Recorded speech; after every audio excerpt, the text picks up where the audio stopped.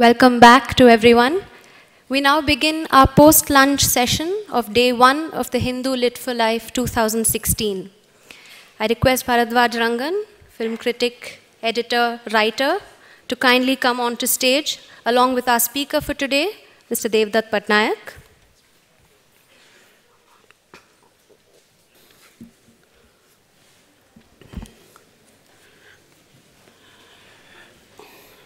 Good afternoon, everyone. Uh, it's a pleasure to introduce Devdutt Pattanaik, who's a renowned writer, author, speaker, illustrator, mythologist, and leadership consultant. His work focuses on deriving management insights from mythology to reveal a very Indian approach to modern business. He has authored over 30 books, many of them bestsellers like Myth Equals Mithya, Business Sutra, Jaya, an illustrated telling, retelling of the Mahabharata, and The Pregnant King, a fiction fashioned out of mythological and imaginary tales where lines are blurred between men and women, sons and daughters, husbands and wives, fathers and mothers. Many of his books have been translated in Hindi, Tamil, Telugu, Gujarati, and Marathi. Devdutt was trained in medicine. He spent 15 years in the healthcare industry. All this while, he continued to study and write on mythological stories and symbols, drawing rich insights about business, leadership, and modern life. His columns on management and culture appear regularly in the Economic Times Midday and the Daily O website. He was also featured in a special series called Business Sutra on CNBC TV and CNBC Awaaz, where his ideas on the intersection between business and mythology were discussed extensively. Devdutt was the chief belief officer of Future Group, one of India's largest retailers, and is now a much sought after public speaker and culture consultant for corporations and business leaders. He consults Reliance on matters related to culture and Star War, Star TV on various mythological serials. Today, he will be giving a talk about My Gita, which is his latest book. The book demystifies the Bhagavad Gita for the contemporary reader. His approach is unique. It's a thematic approach rather than a verse by verse translation. And with his trademark illustrations and simple diagrams, he makes the ancient treatise eminently accessible. In a world that seems spellbound by argument over dialogue, Devdutt highlights how Krishna nudges Arjuna to understand rather than judge his relationships. This becomes relevant today when we are increasingly indulging and isolating the self. Now, on to the talk on My Gita by Devdutt Pattanaik.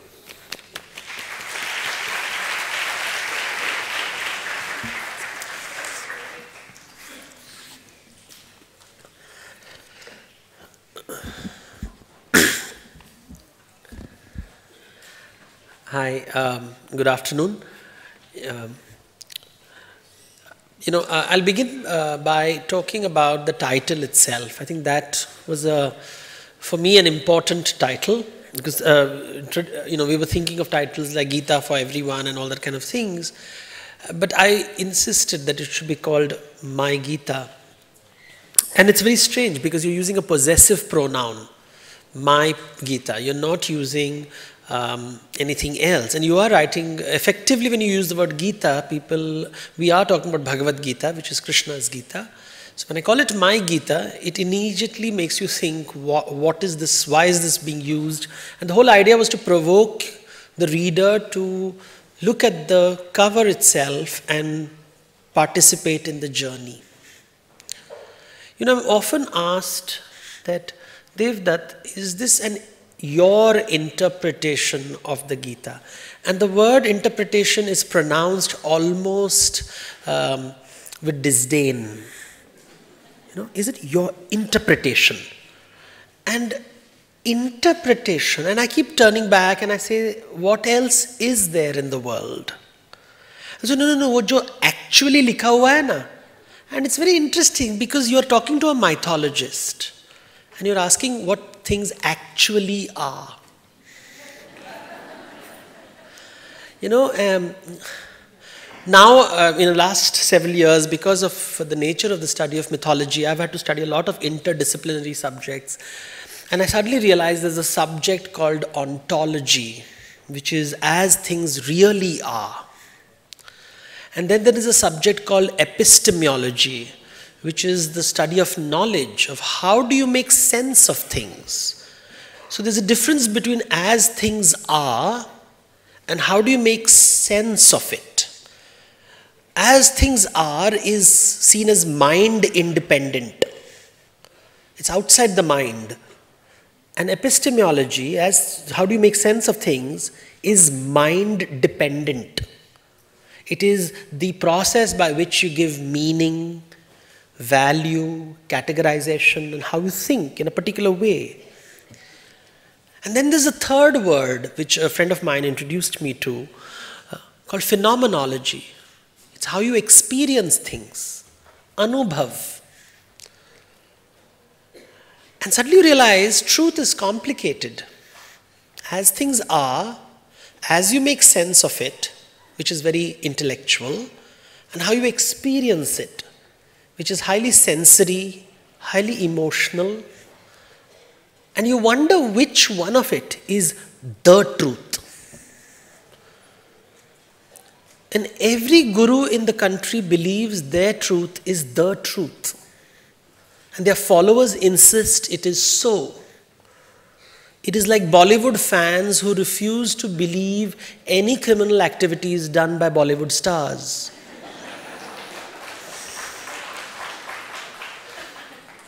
And this is what I'm terrified of this notion of there being something out there which is the truth, and the guru has access to it, or the scientist has access to it, or the philosopher has access to it, or the politician has access to it, or the Nobel laureate has access to it. To me, that is a problem because that instruct instantly creates hierarchy. But wisdom comes from all places. It comes from the cobbler, it comes from the driver, it comes from the poet, it comes from the artist, it comes from the farmer, it comes from the housewife, it comes from the teacher. Wisdom doesn't belong where somebody will register and tell me, oh, this is the truth. So, what we really have is interpretations. We don't know what the truth is. And that word for me is the most problematic word I have ever come upon. And therefore, I focus on my truth and your truth. My truth, whatever I experience, whatever makes sense to me, the way I think the world is, that is all I can share with you. And the only thing that you can share with me, or I would like you to share with me, is your experience and how the world makes sense to you. And the truth is somewhere between the two of us. If we cannot figure out the truth between the two of us, we go to a third party and we give power to the third party. And that party becomes the judge. And that judge will decide who is right and who is wrong, who is good and who is bad. And for me, that is a problem. Because if I can't have a relationship with you, then what will the third person do? Because ultimately, it is about relationships. Two human beings having a relationship, a conversation, figuring out what is the truth between you and me.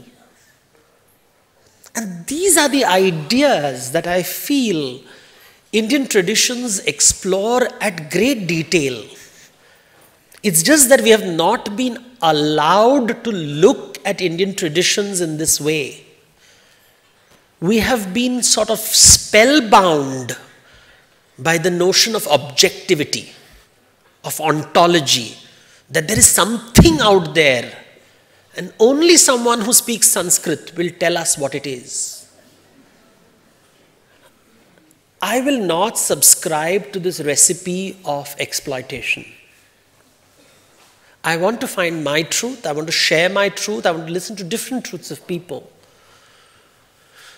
When you read the Gita and the various interpretations of it,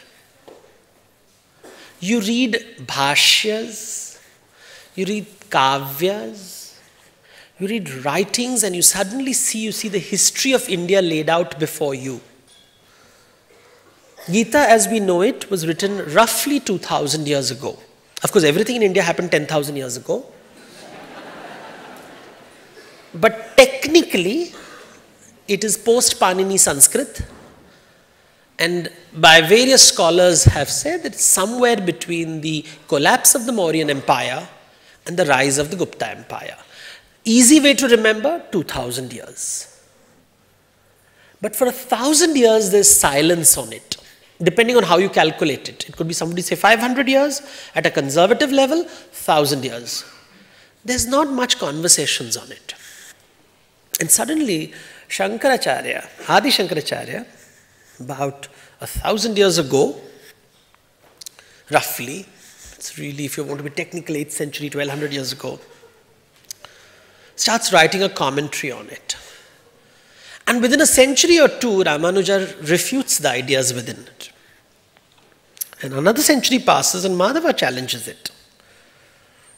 All three men of the monastic order, or at least adopt monastic order. Even if they're married, they, uh, they somehow valorize monasticism, which was very unique.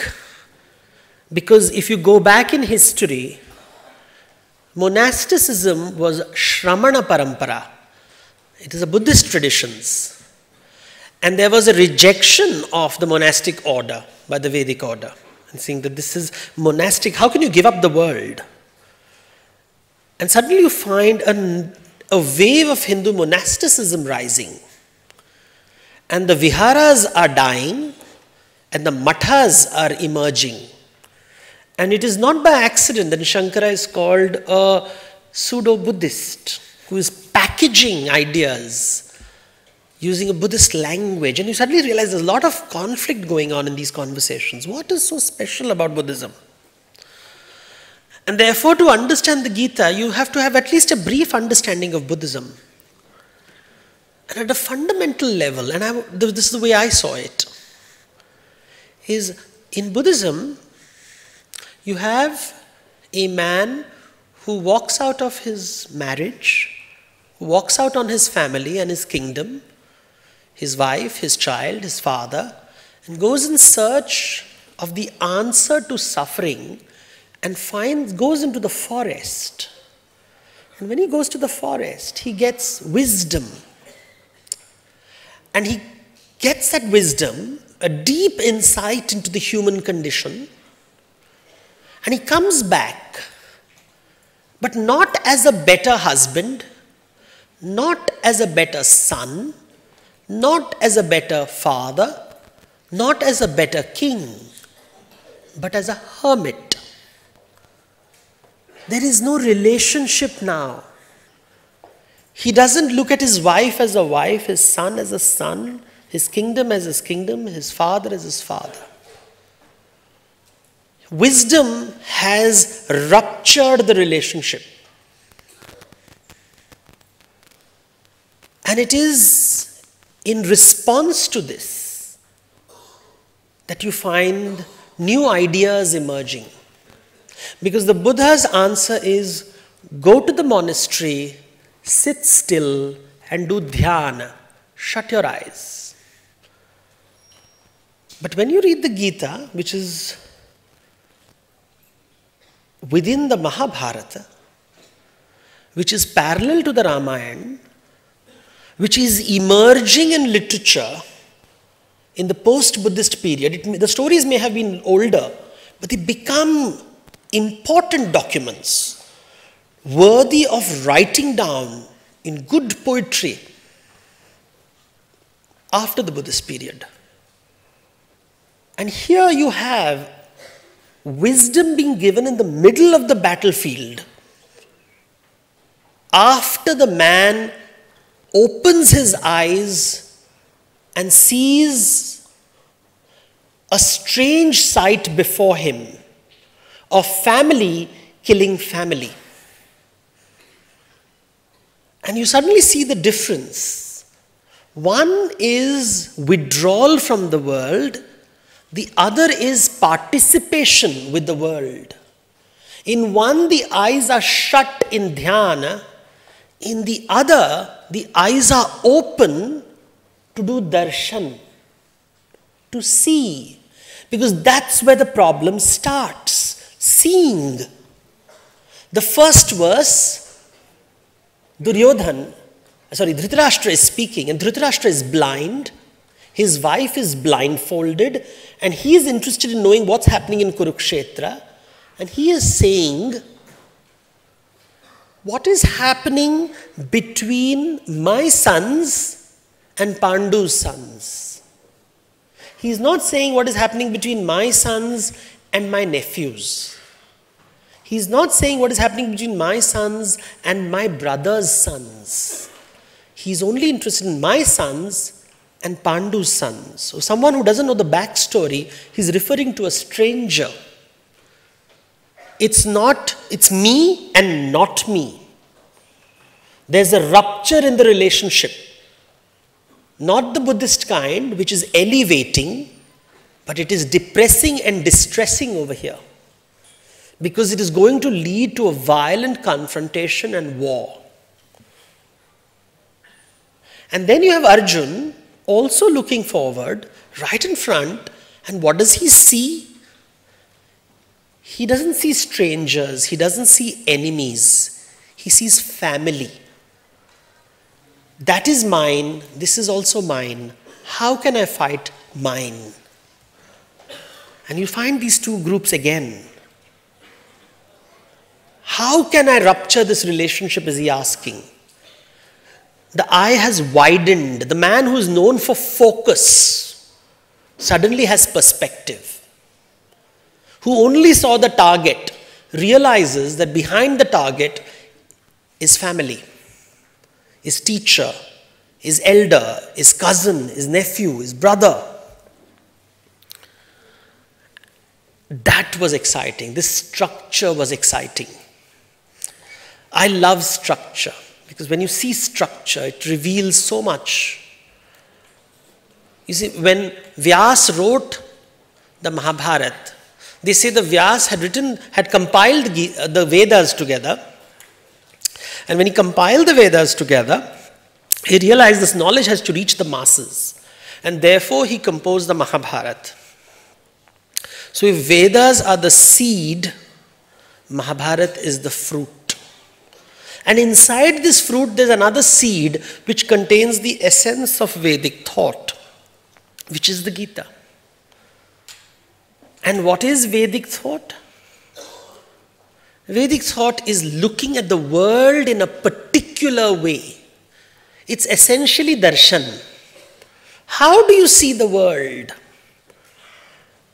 Buddha sees the world as a place of suffering desire as the cause of suffering. And therefore, to outgrow suffering, you have to outgrow desire, which manifests in the creation of monastic orders. This idea of the monastic order overshadows Indian thought over the last 2000 years. And therefore, some of the great commentators on the Gita are all monks. And I'm asking myself, are they revealing to me the conversation on the battlefield, which is the result of a property dispute, or is it just their interpretation? Or am I not allowed to say that? Because you have Jnaneshwar writing the first regional Gita, refusing to write in Sanskrit, writing in Marathi. And the story of the boy is tragic, treated so badly by the Brahmanical orthodoxy, excommunicated because his father took sannyas and after taking sannyas returned to become a grahastha, because of which he's excommunicated. And the community tells the family that oh, he, the sons will get the janayu only if you kill yourself. And so the parents kill themselves, so the children will be brought back into the community, but they are not. And so they live outside the main village. They live with the poor, the downtrodden, the outsiders. And this boy should be angry, but he's not. He's at peace. Why is he at peace? Because of a wisdom that has been revealed to him by his elder brother. And his elder brother has learnt it from the sages in the countryside, and he calls it the Gita. And he translates it in Marathi. And then you have other translations. You have translations in Udiya, you have, trans- you have two, three translations in Marathi. So regional compositions emerge. And Bhakti Kavya emerges, which focuses on the Bhakti aspect of the Gita. But in everything, there is this backdrop of monasticism. Desire is suffering, and the answer to life is not withdrawal from suffering, but submission to God. And then you have the British coming to India and translating and trying to understand India because when you understand the state, this, your subject, you are able to control them. And therefore, they study India extensively, but they have a problem with the Vedas because Vedas seem to be polytheistic. And when they stumble upon the Gita, they love it because it's monotheistic. It, speaks, it seemingly speaks of one God. They love this document. The East India Company sponsors its translation. And if you read the letters, he's actually saying it will get us closer to the natives. Because it is so much similar to Christian theology.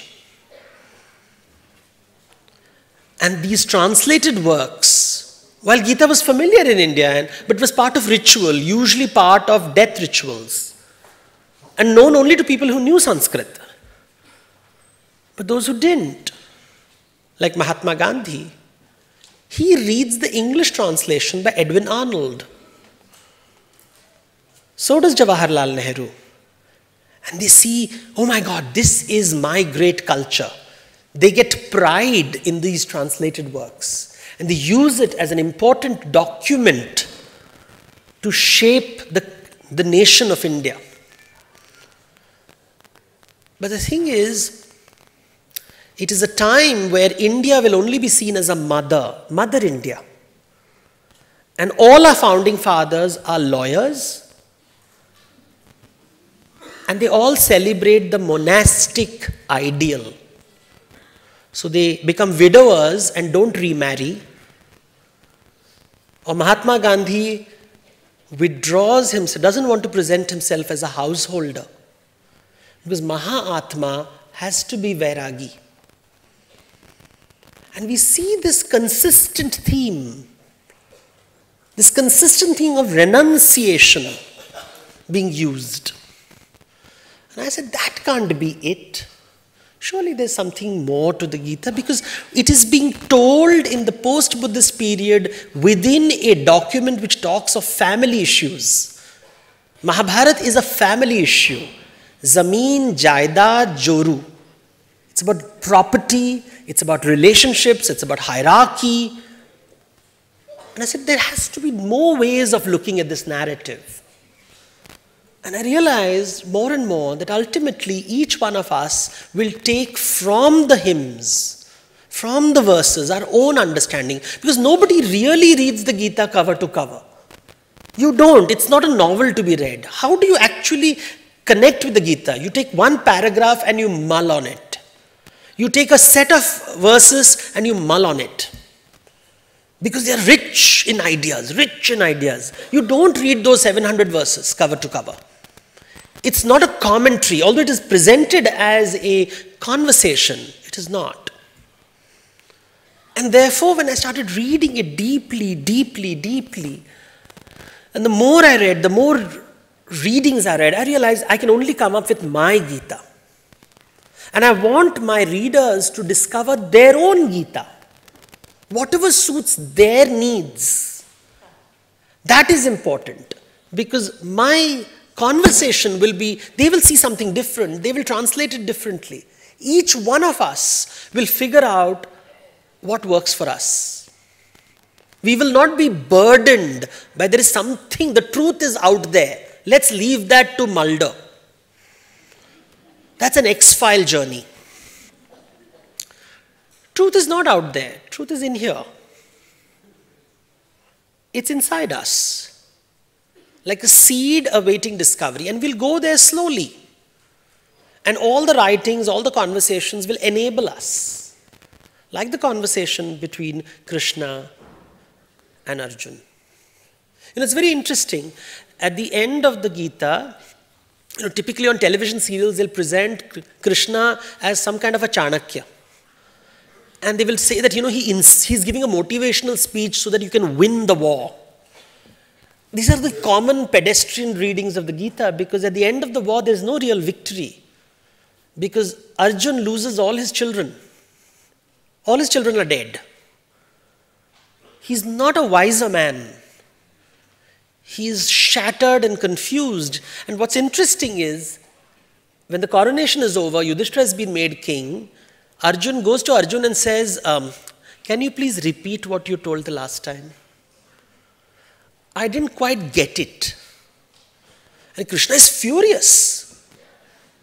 That was an inspired moment. I gave you a great speech. And Arjun is telling, थोड़ा summary में बता दो. And therefore, Krishna gives the summary. Only problem is if Gita has 18 chapters, the summary has 36 chapters. and you suddenly realize this is an exasperated God discovering that even when God is the teacher, the students are not always brilliant.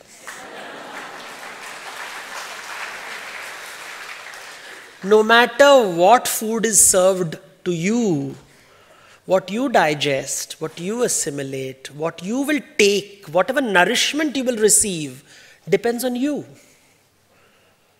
Not on the cook, not on the person who's serving the food, but on you.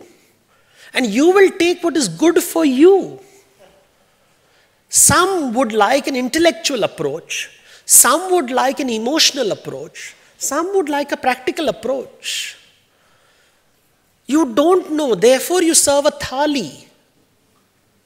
So there is karma yoga, bhakti yoga, jnana yoga, mix in different proportion and decide what you like. Whatever taste, whatever you like is for you. And that is where the drama comes. Because, like a thali where you mix the rice and the dal and the sambar and the papad and the sabzi, and you create your own dish. That's your Gita. You can't just eat the rice and say it is Bhakti Yoga. You can't just say, you know, good Chennai food is only sambar, not the rice, because that's high carbs. No, you have to also eat that. You can't say there is only Karma Yoga or there's only Jnana Yoga. It's a brilliant mixture of all three the head, the heart, and the hands. So the approach is first behavioral, what to do. And as he goes deeper into the behavioral, he introduces concepts like yagna and yoga. What to do? Yagna. Do yagna, yagna. And this word is very interesting. How do you translate that word? If I ask most Indians who know English, they will translate it as sacrifice. But isn't there another word for sacrifice? Bali. If Bali is sacrifice, what is yagna? And I'm told no. And suddenly you realize who translated it for the first time? 17th century German Orientalists who never visited the country or performed the ritual. And we just accept it because sacrifice is noble. We, but when you look at a yagna and just look at the Mahabharata, look at the uh, Drupada doing a yagna, how is the popular perception of the yagna? Or look at Rama and Dashrath doing the yagna. He does something to get something.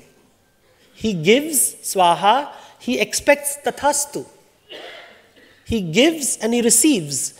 It's not give and take, it's give to get. Which is exactly how you perform puja, right? You go, you give naivedyam, and at the end of the if you say falastuti. It's not a free lunch, God. I came, तुम्हारे दर पे आया हूँ चल के चल के कुछ तो दो. now that makes it exchange, and now no, no, no, no. Spirituality is all about sacrifice. And I'm like, oh, please, that template is so 1970s. Because exchange is what makes us human. Animals can't exchange, other than some chimpanzees. and they can only exchange with members of their own clan. Humans can exchange with anyone. I can exchange with you, you can exchange with me, I can exchange with strangers, and that's the cornerstone of human relationships. I give and hope that you'll give me something else in exchange. I can't take it from you. It's not give and take, that's a contract. It's give in order to get something. I have a desire, which means I'm sensitive to your hunger. I give you what satisfies you, I give you bhog. I hope that when your bhog is satisfied and your, you burp in satisfaction, you'll pay attention to my hunger. So, desire may cause suffering, but the moment I call desire and suffering hunger, you talk about feeding. You don't try to destroy hunger. You try to satisfy hunger by offering food, bhog. So I offer you food and I hope that you will offer me food. That is yagna. And that's the first word that you find in the Rig Veda. It is the indicator of humanity. I give you food so that you feed me back. And in order to do yagna, I have to do yoga. Because only when I do yoga, which is introspection, I discover your hunger and my hunger.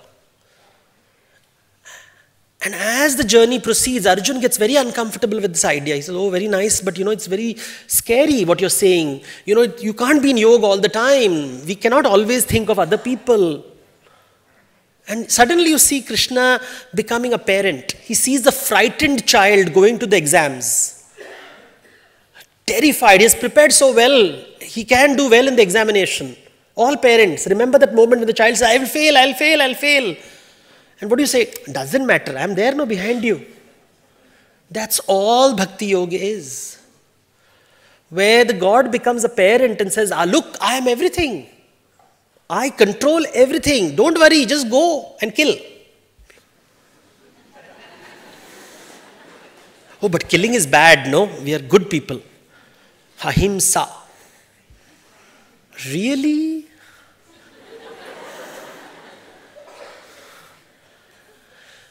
If this was Delhi, I would have used a word which begins with C, but I can't. Because violence is not just physical violence, it is psychological violence of the worst kind. I will not give you bhog. I will not feed you. It's against my religion. I have no hunger and I will not feed you. That's essentially monasticism. I am not hungry anymore. I have discovered true bliss. But what about my hunger? And this is told in the Shiv Puran so beautifully. When Shiva is doing meditation, the goddess says, Annapurna, she's cooking food, and the vessels and kitchen clanking sounds are coming. And Shiva is saying, Oh my God, this is so, what are you wasting your time? Let's do tapa together. And she says, No, no, no, I have to cook food. She says, No, I can't sit here. And she goes away. And after some time, all his ganas who follow him say, Okay, sir, time to eat. some food. And he suddenly realizes if Annapurna did not cook food and feed these ganas, he could not perform his tapasya. That is Kashi Annapurna bringing him back to the ground. From this great Kailas, she brings him back to Kashi. Ultimately, it is about food. Khana paroso. Feed, exchange, feed me. And you can look at food as a metaphor for knowledge, for emotions. What do we seek? This whole desire no, no, no, no, no, I will not give you anything. I will not give you food, I will not give you love, I will not give you knowledge, I will just withdraw. In the internet vocabulary, it's called a breakup.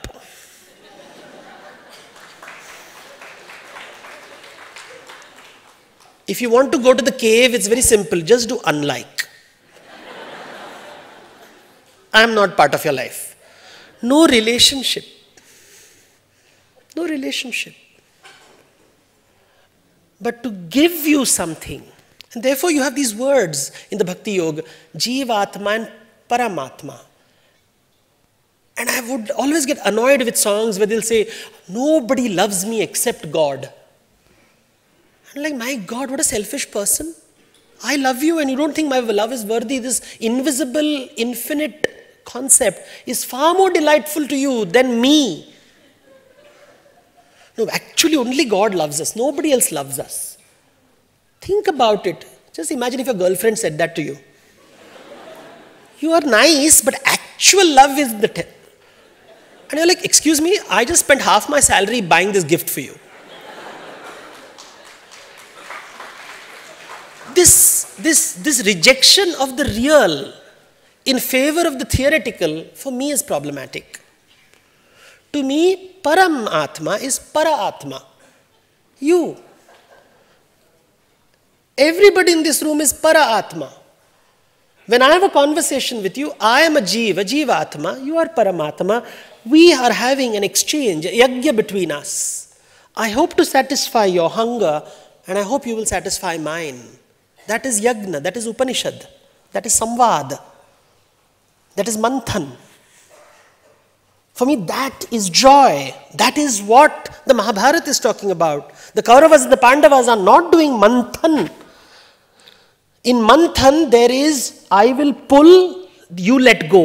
You pull, I will let go. In Mahabharata, it is tug of war. Rassa Kassi. You pull, I pull at the same time till it breaks, just like the Indian parliament. there is no manthan happening in the Indian parliament.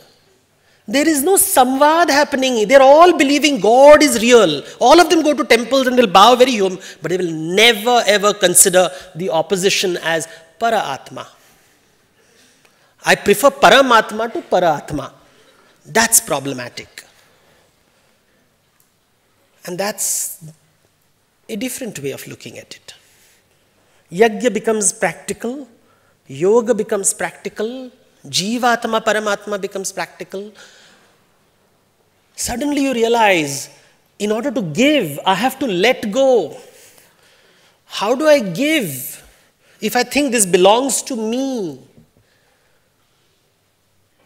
How do I give? And I suddenly realize the act of giving is so difficult because my identity is attached to all the things I possess. How can I feed you if I think it belongs to me?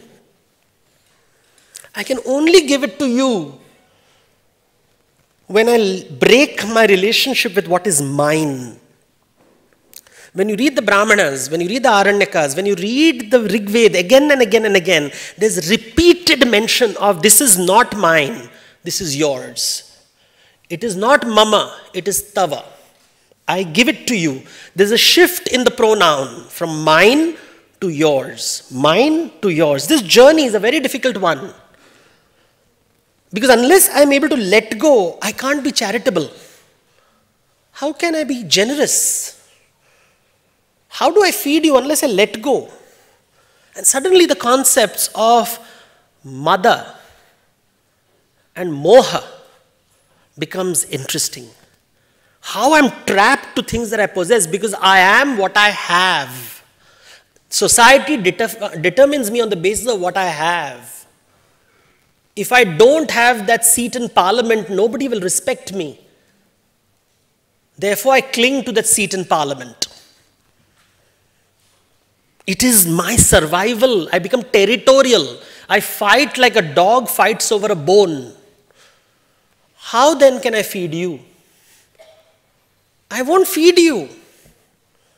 Therefore, you will see a pack of wolves who will hunt together. Once they're finished hunting, will fight with each other to get the largest piece of the meat, and the alpha will get the biggest.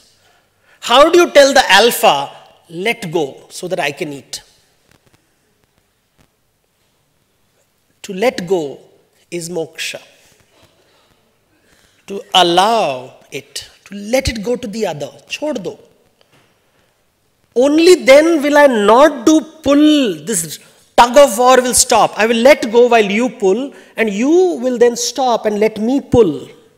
Because only when there is churning will the ocean of milk reveal butter and nectar.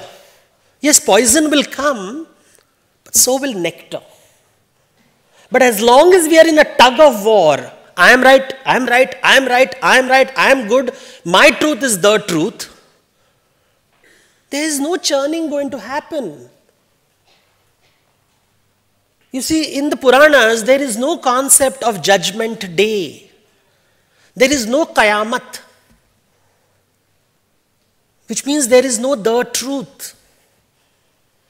There is only contextual truths. We work with what we have, we work with what we know. There is no perfection.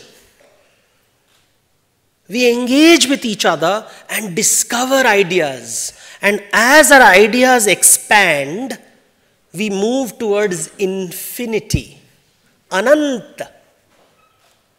And the anta, the death which awaits me in the battlefield, will cease to exist. The terror that I will not matter, that I will die and my, my life amounts to nothing, will go away. Because it is that terror of making my life valid and meaningful that makes me ambitious and aggressive and wants me to fight and cling to my territory and not give a needle point of land to anyone. Because I don't see my own cousins as para atma. Me, me, I'm willing to see the driver's son as my friend. I decide these arbitrary because he indulges my ego. My cousins don't.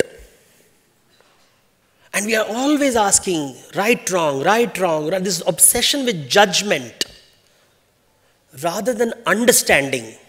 You know, I always tell people explanation is not justification, observation is not judgment.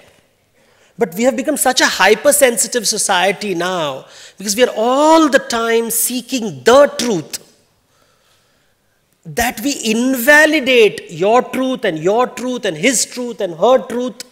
We just invalidate it. You don't matter. What do you know? You don't know Sanskrit. You have not read the Bhashyas. You're not educated. You didn't go to school. How can you know Ananta Brahmand?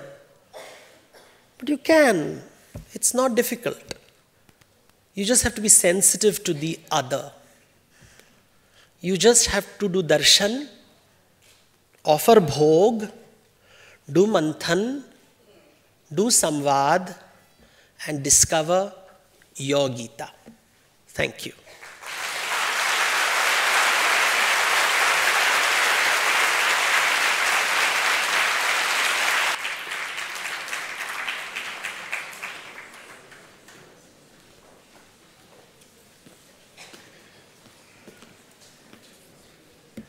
Thank you, Devdutt. I was beginning to think that there was a tug of war between you and the clock watchers, so luckily that didn't happen. But um, the Q&A session, let me just start off with a question about the Gita that I think some of us have. Um, you, you said that nobody really reads the Gita from cover to cover, right, which is true. Why is it that, that there are just certain, certain aspects of the treatise that sticks to people? For instance, 90% of the people if you ask them what the Gita is, they'll give you that thing about the, the soul going from person to person, like how a man discards his clothes and, you know.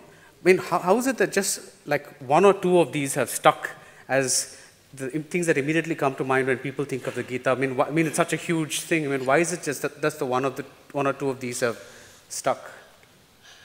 I think um, those ideas are just so profound by themselves that you just don't want to look beyond it they themselves force you to relook at the way you look at life so dramatically. And at that moment solves your problem.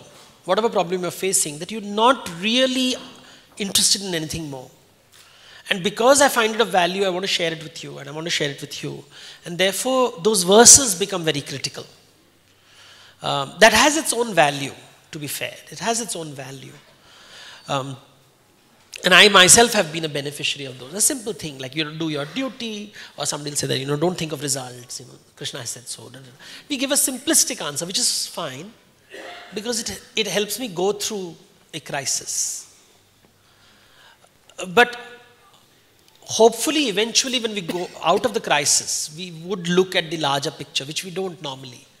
But I think we are always, because they are complex verses, they are not easy verses. And they're also written in a language which is very pregnant with meaning. Um, and to add to it, if you just listen to it, the way the, um, to quote Mani Rao, the texture of the language is so powerful that um, it sort of gives you ideas at so many different levels that I don't think you're interested in going to the next uh, verse. You just sort of, you know, pet bhar gaya kind of thing. Okay. Uh, there's a question there.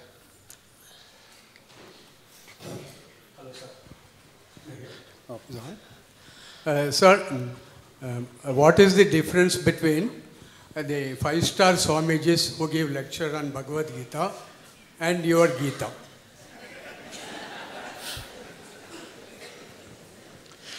That is their Gita, this is my Gita.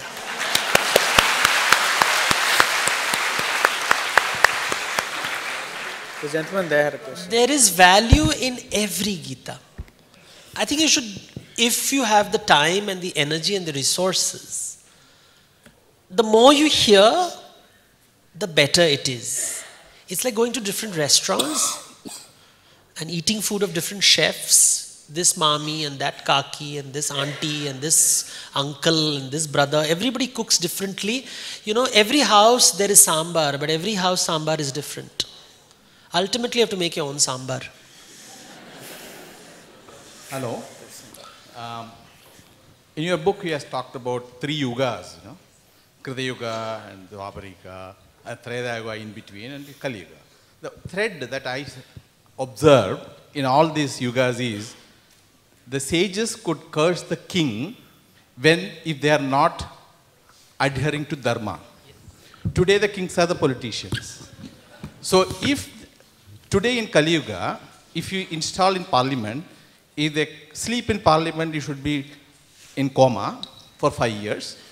If they come to the well of the house, you should be deaf and dumb for five years. And if they took the mic and throw, you should be paralytic for five years. Why not be like the- instead of Tendulkar, some Swamijis we can put it in Himalayas and do this so that we can have a better session during budget time.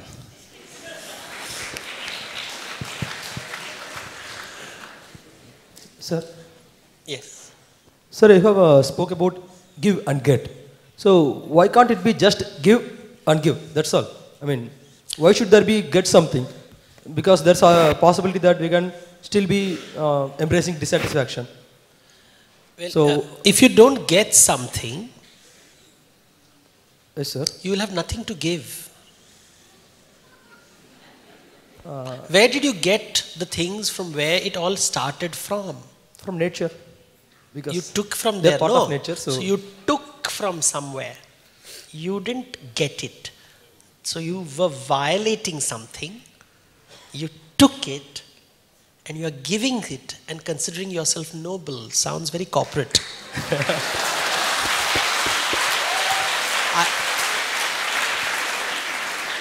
Uh, sorry.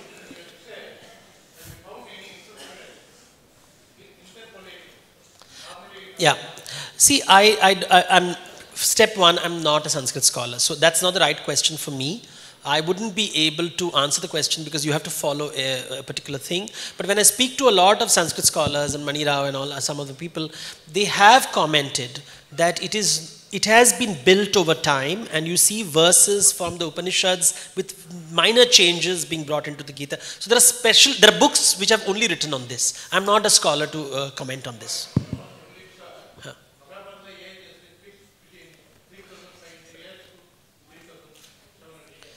Yes. No, I'm saying the text, sir. Only the text. Anything could have happened, sir. Uh, hello. Um, Yes. uh, I really uh, liked your uh, speech. I think it was fantastic. But I just want to ask you some clarification. you spoke about me and the other, while I believe that there is no other. And when you talk about sannyas and the world, the biggest world is our own body. So where is the other? I mean, uh, don't you think it is just that oneness which one has to? That's your Gita. Yes. No, so Not do you? That's what I want to ask you. That's yours. No, That's the way you see it. That's so great. do you believe in the other and me as two different uh, Well, I've written an entire book on it. Good afternoon, sir. Uh, all the way in the back. Right here. Uh, yeah, uh, so, since it is your Gita, uh, given a chance, would you rename it? And if so, why? And what would it be? No. Uh, I'll have a question here. Hello, check. Uh, you know, uh, Yes. see, uh, I appreciate your understanding or the way you put it, your interpretation and insight, but I have a problem with it.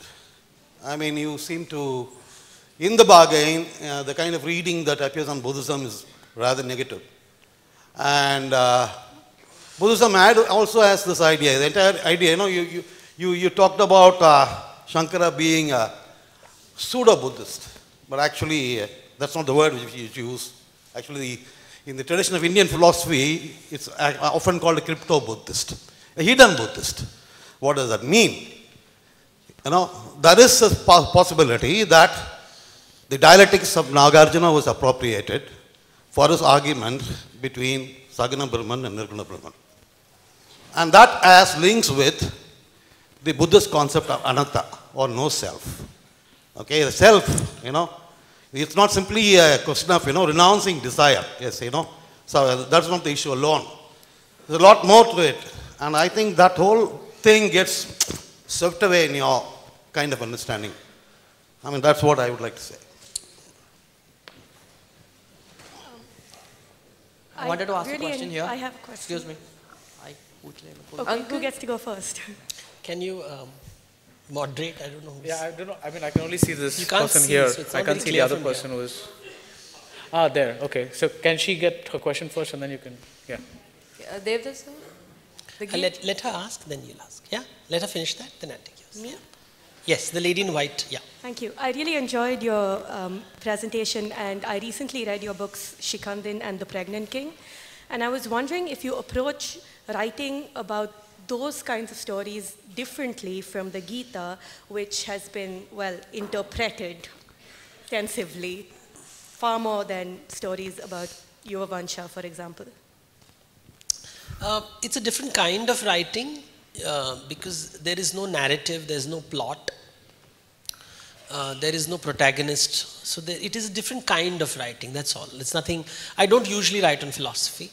Uh, the whole idea is, but the, the aim is the same. How do you explain it in the simplest of possible ways so that people get it?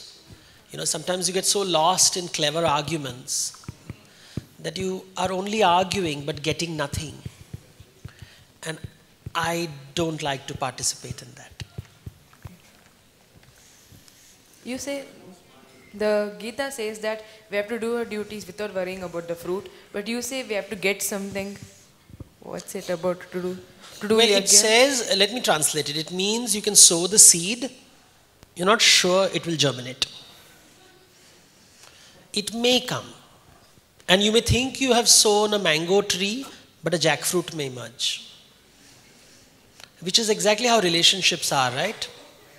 You're a young girl, right? Ask your parents.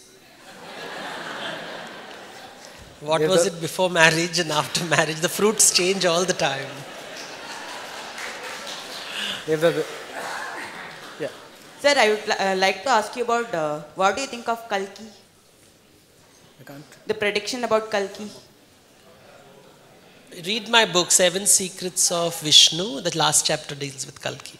299 rupees.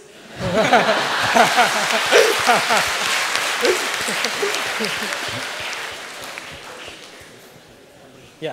Sir, uh, since you are also a speaker who gives talks to corporates and all those people, so I want to ask you a question about Buddhism. Since Buddhism was not about renunciation and not exchange, do you think that is the reason why it uh, declined and sort of it became unpopular among people or something like that? See, it's a complex process, and we, it's no, not. uh, in uh, a psychological sense, since Buddhism, you can't keep on renunciating every day, right? So, i- i- it's not as simple as that um, because you are talking at a very different time scale and you have to look at many, many, many, many factors. And it is um, not as, see, the, the, the, ten, the primary tension in India is between the hermit and the householder. So it's not just about Buddhism.